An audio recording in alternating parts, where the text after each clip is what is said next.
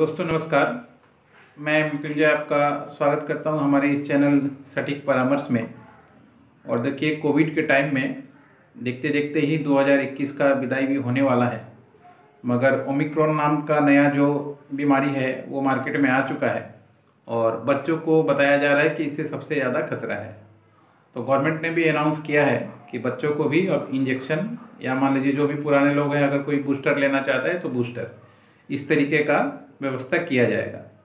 तो अगर आपके घर में बच्चे हैं, छोटे बच्चे हैं, जो इनका एज मान लीजिए आपका पंद्रह से लेकर अट्ठारह तक है, इनके पास आधार कार्ड नहीं है। बहुत सारे लोग हैं जिसके पास पंद्रह से लेके अठारह साल के हैं, उनके पास आधार कार्ड नहीं है।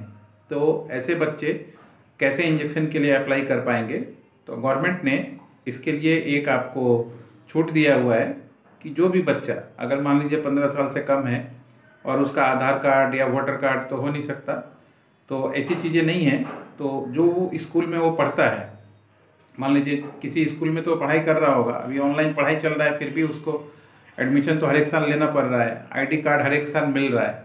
तो स्कूल का जो आईडी कार्ड है, वो आईडी कार्ड लेके वो चाहे तो उस वैक्सीन के लिए एप्लीकेशन कर सकता है। अब ऐसा ज़रूरी नहीं है कि मान लीजिए स्कूल जो है गवर्नमेंट का ही होना चाहिए। बहुत सारा प्राइवेट स्कूल भी है, बहुत सारा जो है रजिस्टर्ड भी नहीं है स्कूल जैसे मान लीजिए प्ले स्कूल बहुत सारा प्ले स्कूल है जैसे ट्रस्ट और सोसाइटी बना के चल रहे हैं. तो उनका भी आई कार्ड जो है वो वैलिड है.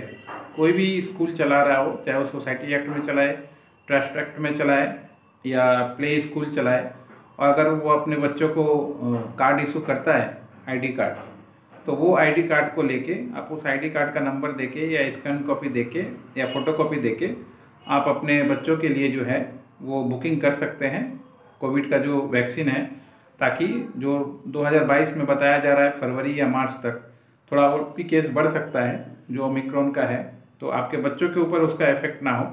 उसके लिए गवर्नमेंट ने ये प्लान निकाला है कोविड विन के साथ मिलके। तो अगर आप देख लीजिए एक बार स्कूल से अगर अभी तक मान लीजिए आपका आई कार्ड नहीं मिला हो तो स्कूल से आई कार्ड ले लीजिए और वेबसाइट में जाके, कोविड का जो वेबसाइट है, उसमें जाके ज़रूरत पड़े तो अपने बच्चे का आईडी कार्ड दे के नाम नंबर दे के एप्लीकेशन कीजिए या फिर जो म्यूनसिपल कॉरपोरेशन से आपको बच्चों को जो डेट ऑफ़ बर्थ का सर्टिफिकेट मिलता है, अगर मान लीजिए स्कूल का आई कार्ड नहीं है तो वो डेट ऑफ़ बर्थ का जो सर्टिफिकेट है, वो भी काम आएगा, वो भी ऑथेंटिक है।